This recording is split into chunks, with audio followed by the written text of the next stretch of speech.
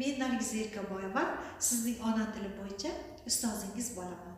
Bugun siz bilan leksikologiya bo'limidan darslarimizni davom ettiramiz. Bugungi mavzumiz so'zning o'z va ko'chma ma'nosi. So'zning o'z ma'nosi so'zning asl ma'nosi ham bosh ma'nosi ham deyiladi. So'zning o'z ma'nosi deganda so'zning nutq tarkibidan tashqarida xotirada tayyor turgan ma'nosi tushuniladi. So'zning ko'chma ma'nosi deganda esa so'zning nutq tarkibida boshqa so'zlar bilan birgalikda ifodalaydigan ma'nosi tushuniladi. So'zlarni o'z yoki ko'chma ma'noda ekanligini bilishimiz uchun uni nutq tarkibidan ajratib ko'rishimiz kerak. So'zlar ko'chma ma'noda ishlatilishi uchun albatta nutq tarkibida qo'llanilishi kerak. Endi nutq tarkibi deganda nimani tushunamiz? Agar so'z bitta o'zi yolg'iz holda tursa u nutqdan tashqarida turgan bo'ladi. Agar so'z so'z birikmasi sifatida tursa yoki gap tarkibida kelsa gap tarkibida qatnashgan bo'lsa e, unda bu so'z nutq tarkibida turgan hisoblanadi.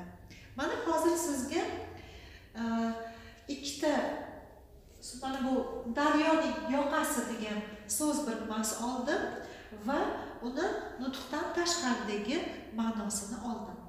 Daryoning yoqasi bu so'z birikmasi bu yerda daryo so'zi ham yoqa so'zi ham nutq tarkibida turibdi.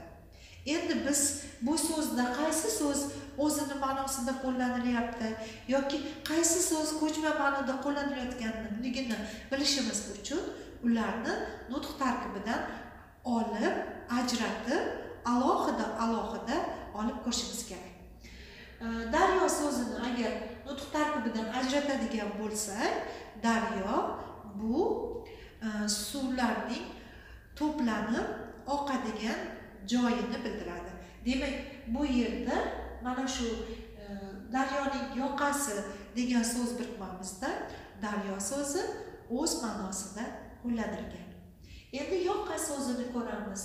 Yoqa so'zini nutq tarkibidan ajratsak yoqa bu kiyimning qismi ma'nosini bildiradi.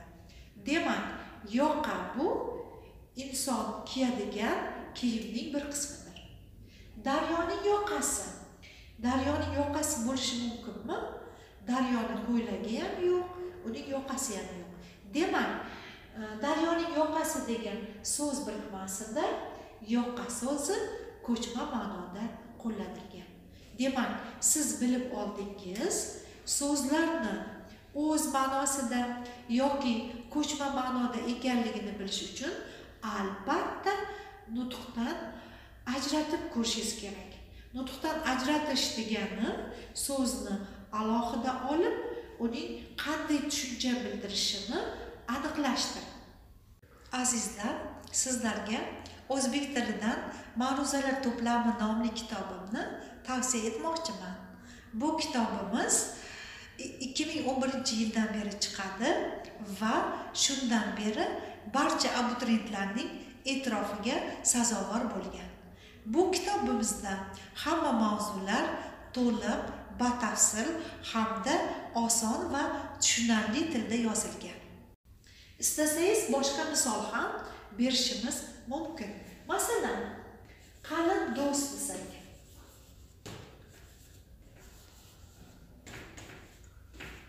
Yoki qalin qon desak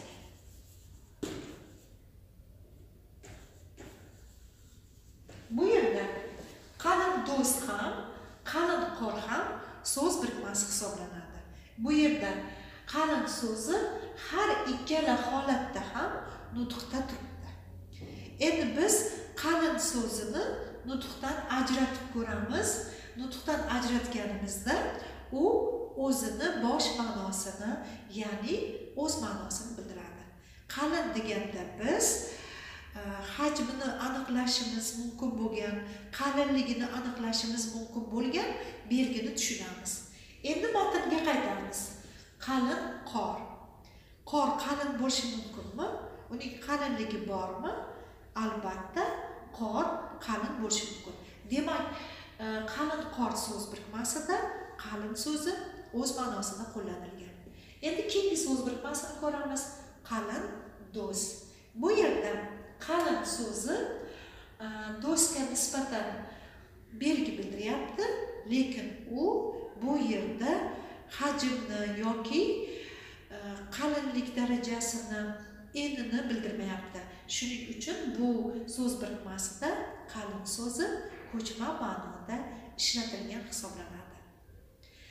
Mana siz so'zlarning o'z va ko'chma ma'nosini osongina tushunib oldingiz. Istagan so'zingizni mana shu tartibda aniqlashingiz mumkin. Hozir man sizga faqatgina so'z birikmasi misolida berdim. Istasangiz gap misolida ham berishimiz mumkin. Masalan uzukning ko'zi chiroyli ekan. Ushbu gapimizda ko'z so'ziga qaraymiz nutqdan ajratib qaraymiz. Ko'z so'zi nutqdan ajratilganda insonning ko'rish uchun mo'ljallangan a'zosini bildiradi. Uzukning ko'zi deganda esa uzukni e, ko'rish uchun mo'ljallangan a'zosi yo'q demak ushbu gapimizda ko'z so'zi ko'chma ma'noda qo'llangan. Buni biz nutqdan ajratib aniqlab oldik.